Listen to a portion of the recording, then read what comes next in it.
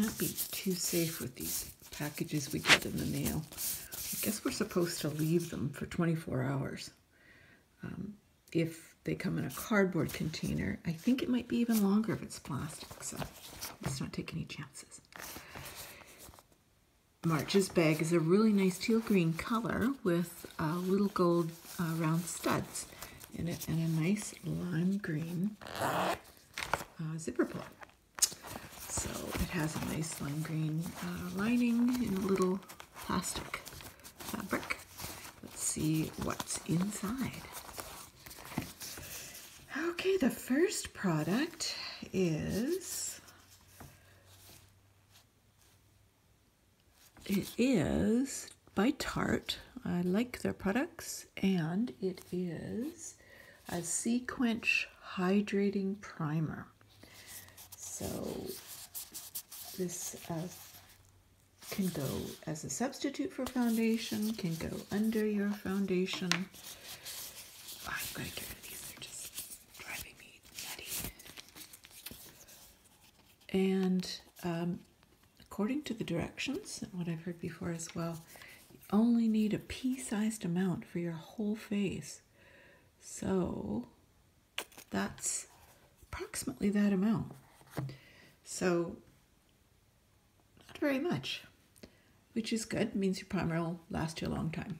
I do use a Smashbox primer right now. Pretty happy with it because it's got some um, silicone in it, which I, I like because it tends to fill in some of the fine lines and pores. This does feel nice. It doesn't have the same powdery velvety feel as my Smashbox. But I'll give it a try. Quench by Tarte. Let's see what's next in the bag. Oh, it's called Polar Night Cream. So it's supposed to be ultra potent, but lightweight and an overnight cream. Use it all over your face and slather it on, they say. Um, and especially, um, don't forget your neck. So let's see, does it... Oh, the Quench um, primer does have a nice light smell. This one does as well. Looks like a little toothpaste tube. Let's see. Okay, so it's kind of thick. Um, feels very rich, which um, my dry skin would really like. So sometimes I like to have something that I just save for the uh, neck and chest area. I have a product that I use um, pretty regularly for my, my face at nighttime but we will definitely give that a try. Let's see what's next. All right, this is called Makeup Forever uh, Matte Velvet Skin Blurring Powder Foundation. So matte is not necessarily really good for my skin because I'm fairly dry skinned Let's see. So there's it's got a little tab here, but I'm wanting to open up. Oh, sometimes they make it so hard.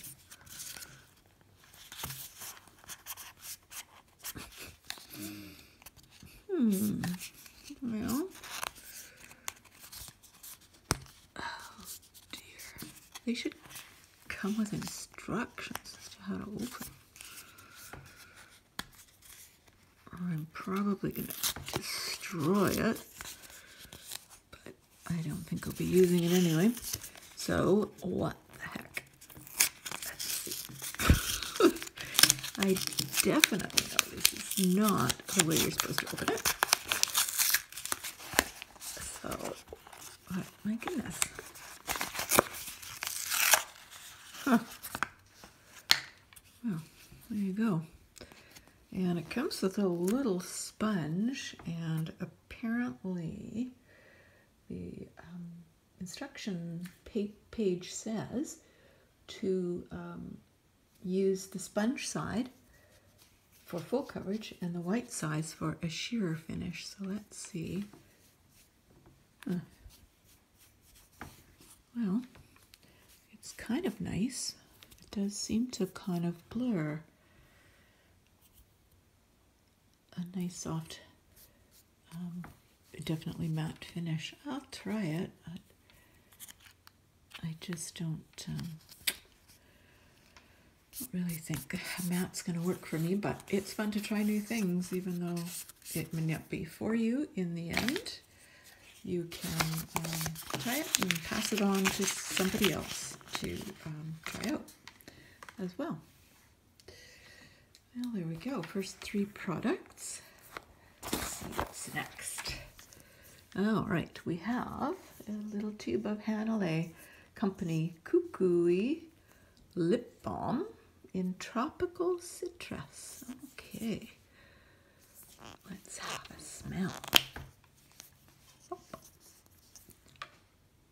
Oh, it smells so good. Like it could definitely chow down on that, you know? I do like Hanalei's products. I have another uh, lip balm from them um, and a um, gloss as well. I think I bought a lipstick one time. They actually have this line on board uh, the BC Ferries, which is uh, where I live near. So that will be excellent to try. I'll put that one there. And let's see what else. This one is Yensa uh, Skin on Skin BC Foundation in Light Neutral. And they call it BC uh, because it's uh, BB and CC uh, cream in one. So it gives full coverage. Evens out your skin tone, reduces redness, and supposed to brighten up your skin overall.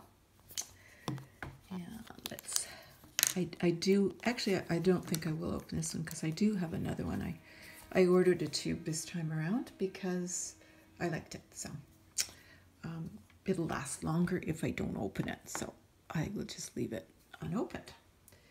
But it is nice, provides good, good uh, solid uh, coverage.